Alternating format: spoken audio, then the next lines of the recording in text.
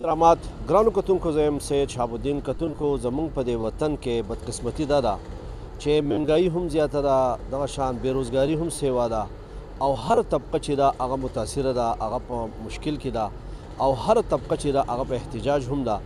نن زه د سواد پریس کلب مخې ته ولاړ یم او دلته کې هغه خصوصي افراد چې هغه معذور دي جسمانی تور او هغه په احتجاج باندې مجبور دي دا غي سره واړه واړه ګلالي ماشومان هم دي د دې مطالبات څه دي د څه غواړي د حکومت نه راځي چې د دې سره خبرې وکړو السلام علیکم جی وعلیکم السلام تاسو نامه سره جی زمانم غلام احد دی او مونږه سواد ډیسیبل فورم چې کوم دی مونږ یو تنظیم رخ کړی دی د دې معذور کسانو د پاره زم سر 400 کسان تعداد دی نه دی نو مونږ وایو لکه سواد کې باسه سمرا معذور افرادی ټوټل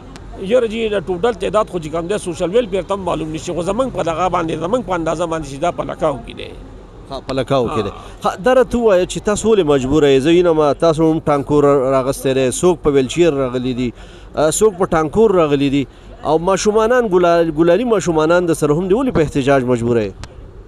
موږ صیب د دې لپاره په احتجاج مجبور یو چې زموږ چې څومره آئینونه او قانونونه پاس شوي دي که هغه د صوبې نه دي او که د وفاق نه دي هغه په هغې باندې عمل درآمد نشته لکه په هغې باندې چې عمل درآمد وشي نو زمونږ دې خلکو ته به ریلیف ملاو شي کوم چې زمونږ دا خصوصي افراد دي د ټول نه زیات مستحق دي دو پارځه کې نظر اندازه کیږي اګه د وفاق نه دی او کړه صوبې نه دي اګه د معاشرې نه دی او کړه خپل کور نه دي نو مونږ د دې لپاره د مونږ خپل ډیماند دا کو چې څومره آئینی او قانوني حقوق دي په هغه باندې هغه صوبایي او وفاقي دواړه حکومتونه په دې باندې عمل درآمد وکړي. غلام عادل صاحب دا راته ووایه چې ممبران اسمبلي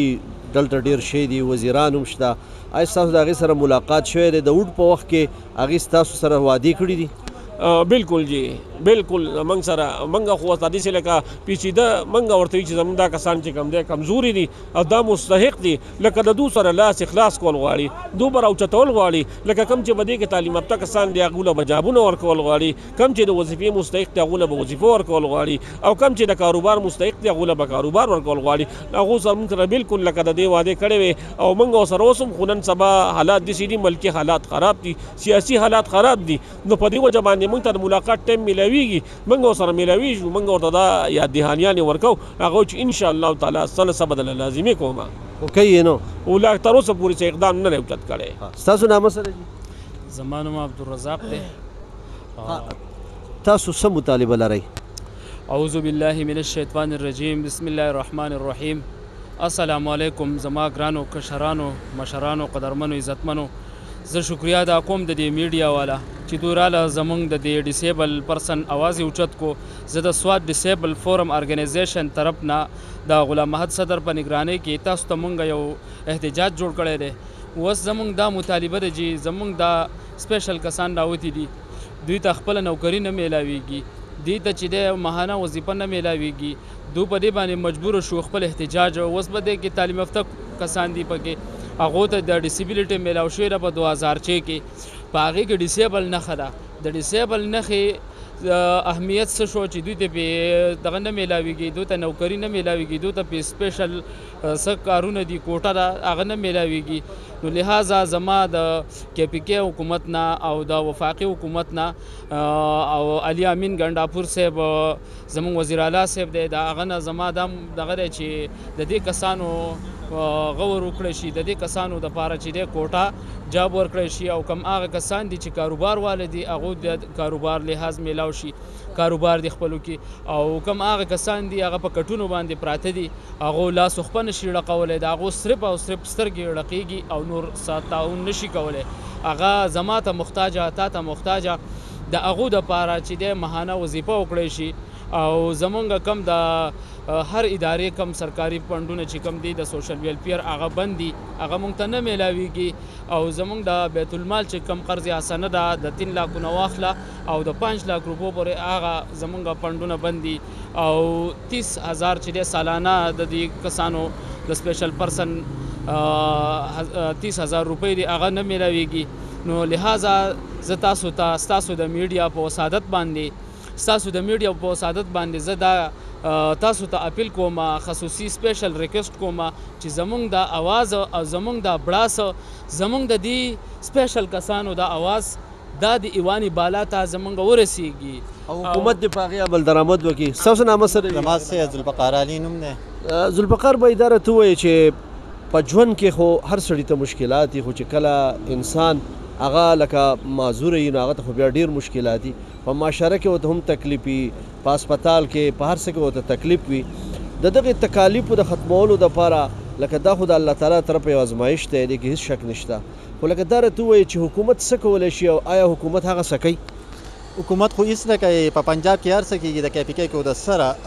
د ډیسیبل لپاره نه څه قانون شته او نه څه دغه شته زمونږ چې دا احتجاج کړم په دغه سلسله کې یو کړی ده چې دلته پې عمل درامت نه کیږي مونږ حکومت له پکار دي چې په هسپتالونو کې مونږ له جدا کاونټر جوړ کړي جدا واټونه جوړ کړي زمونږ میډیسن پري کړي چې مونږ په دې ګڼه کې خو هغه کس نشي رسیدلی مونږ له یو جدا واټ جوړ کړي او هلته جدا مونږ له د دوایانو سټور کولاو کړي دې ډیسیبل کسانو له بل دا په هر ځای کې پیراپلیجک سینټر شته د ډیسیبل لپاره دا ډیسیبل ډیر کسان دي چې په بیډ باندې پراته دي بیډ سور شي نو په پیښور کې پیراپلیجک سینټر شته زمونږ په سواد کې نشته دا هم ډیره غټه علاقه ده په کار چې دلته یو جدا هسپتال د دوی لپاره جوړ کړي چې دوی ته فیزیوتراپي کیږي په سرکاري دا کې دو ټیک ده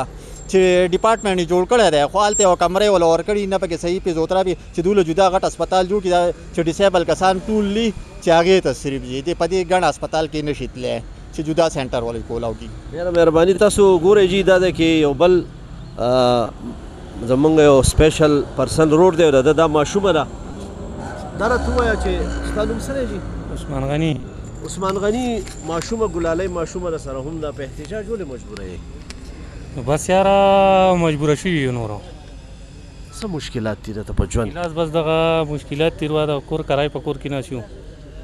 او دغه معذوری او ده نو دغه حالت ته تاسو یې او حکومت نه څه غوښتنه کوي حکومت نو دغه خاص ته چې بس زمونږ حق مونږ ته دغه شي بچی دې څو دي بچی مې درې سکول وای ا دا دا کشرای ماشوم ا دا کشرای ده دا غي د سکول څخه اخراجات او څه مشکلات دي هغه کې بس دغه الله دربار ته پریخي دغه دغه نور څه نشته حکومت ته طرف او د سیبل ته طرف دي تاسو نه دغه کیږي نه نو کوم چې بیت المال دی کوم چې سوشل ویلفیر دی بې نظیر کارډ دی ډیر داسې څیزونه دي چې هغه د معذورانو لپاره وي نو هغه تاسو ته نه میلاویږي. نه نه میلاویږي هیڅ هم نه میلاویږي ډیرې منډې ترړې او پسې ووالي هیڅ هم نشته وایي وبه شي. ګورئ جي دا ګلالی ماشومه دا وګورئ جي دا د دې رور لورکۍ ده او دې هم دا دا وګورئ جي بې نظیر انکم سپورټ پروګرام مې شامل کیا جائے اور ان کا معاشی قتل بند کیا جائے نو کوم چی معذور افراد دی د هغی حق جوړیږی چی هغی ته هم که بی نظیره کارت دی که بیت المال کارت دی یا نور څه وظایف دی پکار ده چی هغی ته دغه د هغی حق میلاو شی دا ګوره جی دی دا معذور افراد دی دا یو بل رور دی دا راته وای چی په ژوند کی خو مختلف ازمایشونه په انسان راځی ستاسو ژوند هم ډیر ګران یی خو لکه حکومت له هم څه ذمه واری ادا کول پکار دی ایا خپله ذمه واری هغوی پوره کوی. نه پوره کوی چی